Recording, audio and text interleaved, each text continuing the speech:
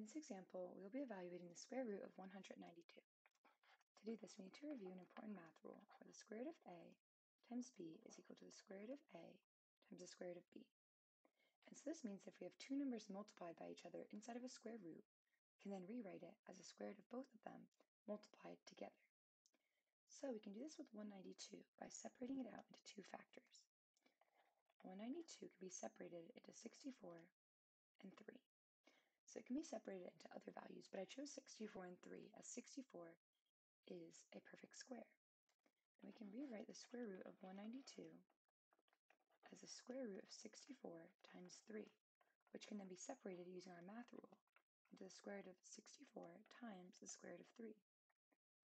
8 times 8 is equal to 64, so the square root of 64 is equal to 8.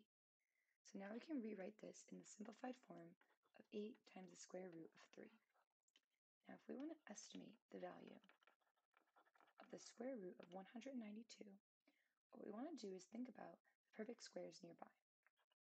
13 squared is equal to 169, while 14 squared is equal to 196.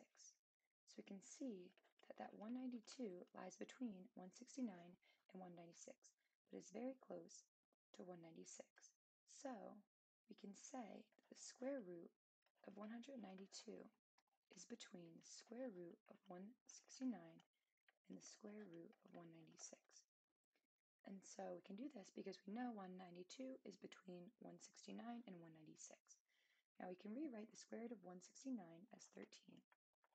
We can rewrite the square root of 196 as 14. Now we know that 192 is closer to 196, so the square root of 192 will be closer to 14. Let's try out 13.9 and see how close that gives us to 192.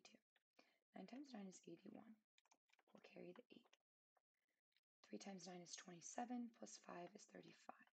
Carry the 3. 1 times 9 is 9, plus 3 is 12. Now we'll add a 0 and do the same thing. 3 times 9 is 27, carry the 2. 3 times 3 is 9, plus 2 is 11. And 1 times 3 is 3, plus 1 is 4. Now I'll add two zeros and then multiply by 1. 1 times 9 is 9, 1 times 1 is 1 times 3 is 3, and 1 times 1 is 1. Now let's add these together.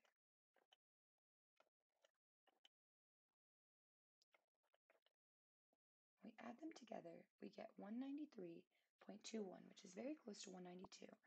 Let's try 13.8 and see if that gives us a closer value, as 13.9 was just a little bit too large. 8 times 8 is 64, we'll carry the 6. 3 times 8 is 24, plus 6 is 30. 1 times 8 is 8, plus 3 is 11. We'll add a 0 and multiply the 3. 3 times 8 is 24, carry the 2. 3 times 3 is 9, plus 2 is 11. And 1 times 3 is 3, plus 1 is 4. Now we'll add two zeros as placeholders and multiply the 1. 1 times 8 is 8, 1 times 3 is 3, and 1 times 1 is 1. Now let's add these together. When we add these together, we end up getting 190.44, which is a little bit further than 193.21 from our 192. So our 13.9 ends up winning out we can say that the square root of 192 is approximately 13.9.